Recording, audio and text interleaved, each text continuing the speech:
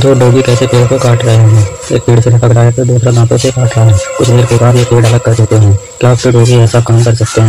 हैं